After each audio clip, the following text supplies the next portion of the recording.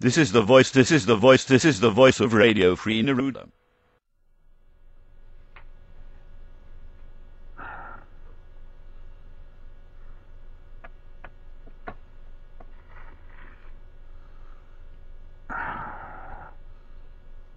Damn! There's gotta be an easier way to get some calcium.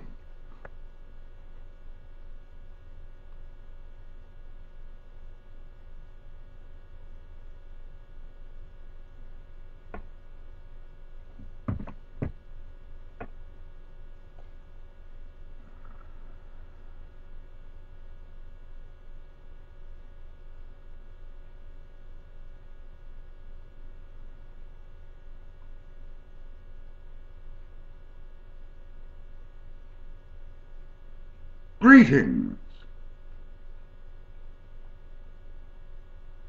The following public service announcement is brought in compliance with Information Ministry Directive ASTM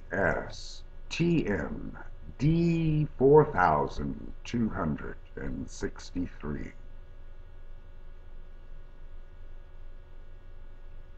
Bon appetit. Are you a cannibal? Know your food. Cysteine is an alpha amino acid with the chemical formula HO2, CCH, NH2, CH2, SH. With the thiol side chain, cysteine is classified as a hydrophilic amino acid.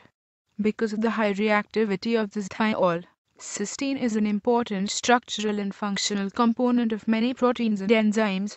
Cysteine is named after cystine, its oxidized dimer. Levrocysteine is used as a reducing agent in bakery products. It is used to reduce the mixing time of the flour dough, stop shaking of pizza crust after it is flattened, help move the dough through various bakery processing equipment.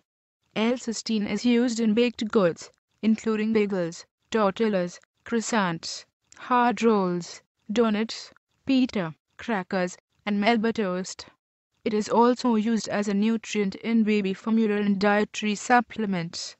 Levrocysteine is considered a substance that is generally recognized as safe by the Food and Drug Administration. It must be labeled by its common and usual name, L-cysteine, on food packages, even if present in very small amounts, as long as it has a functional effect in foods. In other cases, such as when it is used to make flavors in foods, it does not have to be labeled. When L-cysteine must be labeled, its source does not have to be specified. According to the FDA, the principal commercial source of L-cysteine is the hydrolysis of human hair, chiefly that of third world women. Although such processes were employed at Auschwitz, it cannot be considered kosher. Quranic law also prohibits such foodstuffs.